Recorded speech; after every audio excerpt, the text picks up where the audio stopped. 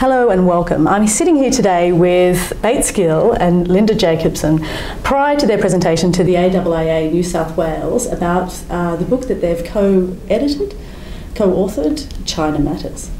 Um, thank you very much for joining us today. Thank you, Annabel. Thank you. Uh, to begin with, I'd like to discuss uh, a little bit what's occurred this week um, with North Korea firing a couple of missiles over Japan. Um, I guess Bates, given your expertise with Japan in particular, what sort of response may we expect from Japan and, uh, and the neighbours of North Korea? Well, I don't think we'll see Japan taking any sort of unilateral action, but I think they're going to be putting a lot of pressure on Washington and their other partners in the region, like South Korea and even China, uh, to step up and uh, deliver a very, very powerful message back.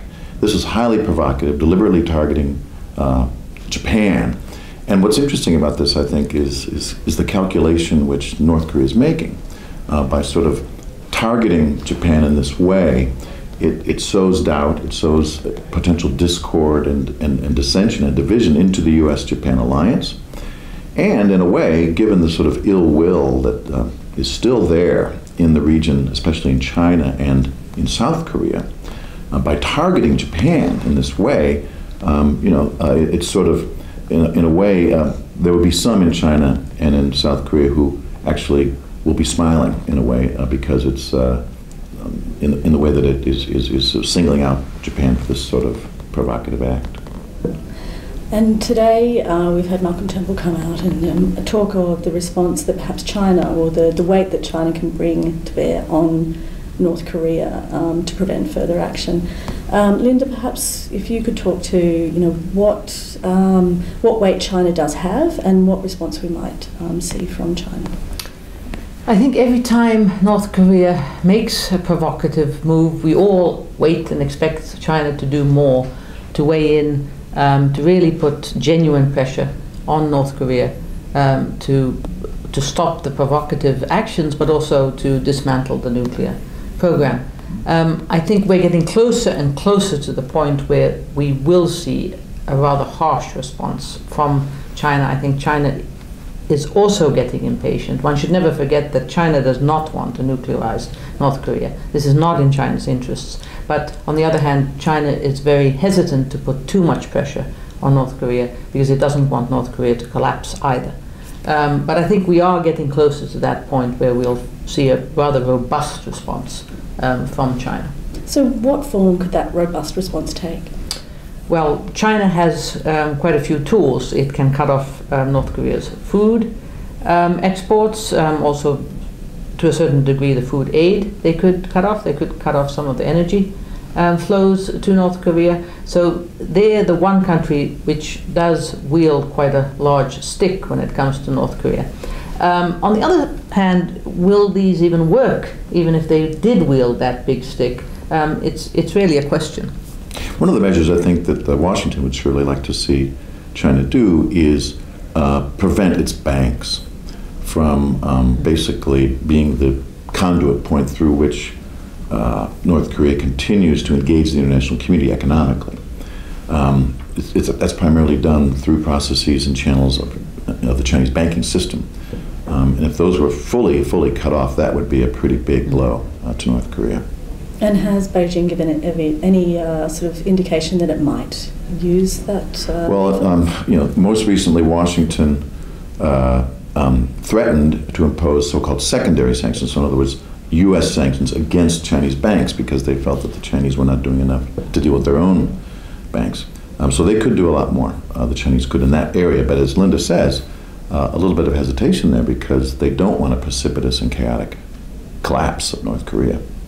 I don't think anyone does really. Um, I guess um, sort of moving back to China matters, um, you uh, established three principles within the book uh, by which Australia can sort of perhaps uh, manage and judge its relationship with China. And those principles uh, was it uh, principles, prosperity, or those those um, the basis is principles, prosperity, and security. And obviously, we've discussed security a little bit now. Um, Linda, perhaps you could talk to those other two principles by which we can judge or, or manage our relationship with China. Well, certainly, I think Australia will always be challenged on the on the um, measure of principles uh, when dealing with the People's Republic of China. It is a one party authoritarian state. Um, certainly, many Australian values um, are not ones that um, are upheld in the People's Republic of China. So, on the question of principles, there's always going to be um, a level of tension, um, and it's something that we discuss in our book. I think when it comes to really core values of Australian society, Australia needs to st- stand up for itself um, and push back if it feels in some way threatened um, in the relationship by the People's Republic of China. I'm specifically referring to the increasing influence of the PRC government in Australian society. And we've seen now that this tension is rising, and obviously we're going to see more influence um, as China becomes more important. Mm-hmm. Um, and I guess um, to do with prosperity, and there's a lot of discussion in our Australian media about the prosperity factor. I mean, I guess recently the uh, Chinese government um, put further oversight on the in foreign investment by state-owned oper- operators or enterprises. Sorry. Um, I guess what what impact might we see um, from that within Australia?